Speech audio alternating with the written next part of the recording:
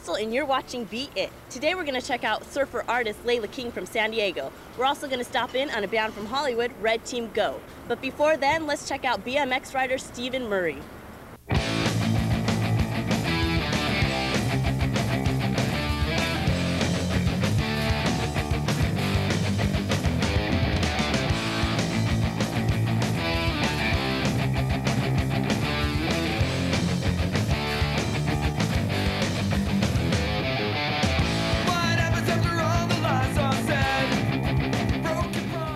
My name's Stephen Murray, came here to California from England to become a professional dirt jumper.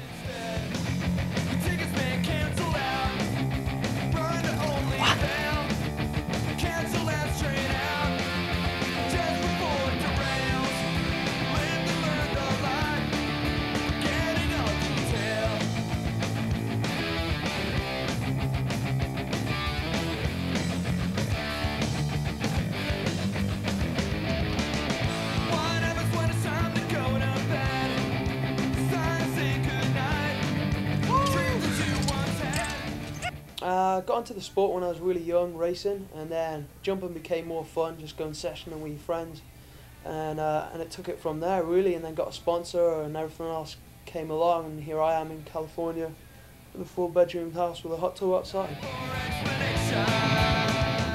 I ride my bike every single day, as as much as I can. You know, maybe some days I'll have a day off, just when I'm completely exhausted, you know, but every day normally consists of getting up, just chilling out, calling all your friends, going riding. Here at my mate's Bo's house, Bossman and Ryan, uh, Chris Duncan. Come pick pick 'em up and go for a session.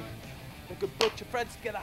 We're getting a good session together and going out and we're riding till dark and sometimes we'll go to skate parks at night and ride until they shut, like 11 o'clock style, get home really tired and just kind of chill out or go out and do something on the night and then crash into bed at about, I don't know, early hours.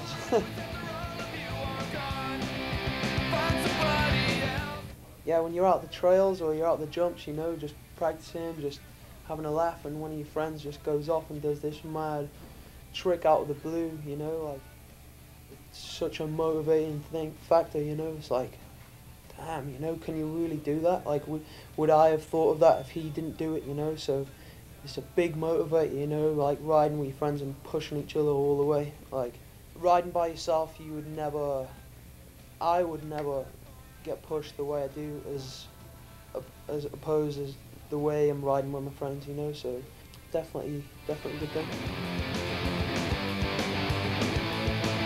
Work it, work it, and see what happens. And I've been lucky enough to get the chance to to live the lifestyle I live, you know, and just all I have to do is get up and worry about riding my bike every day, which is excellent, you know, not too many worries. So it's the life.